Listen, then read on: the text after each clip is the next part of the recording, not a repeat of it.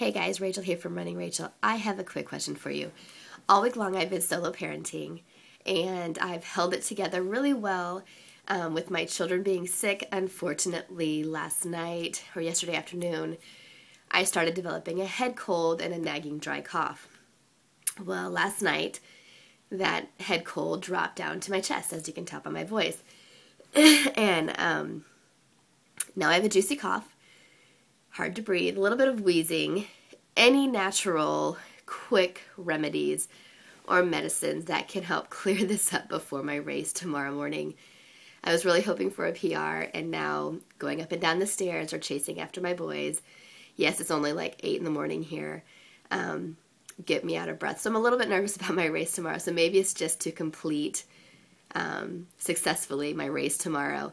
So I would love any good wishes and prayers and um, positive vibes and thoughts for me tomorrow and throughout today for a speedy healing. Um, and if you have any natural remedies or some tips and tricks on how to flush this out and get this out of my chest so I can breathe, that would be amazing. Um, anyway, just wanted to send a quick shout out and um, I would love your advice and your tips. Thank you guys. Bye.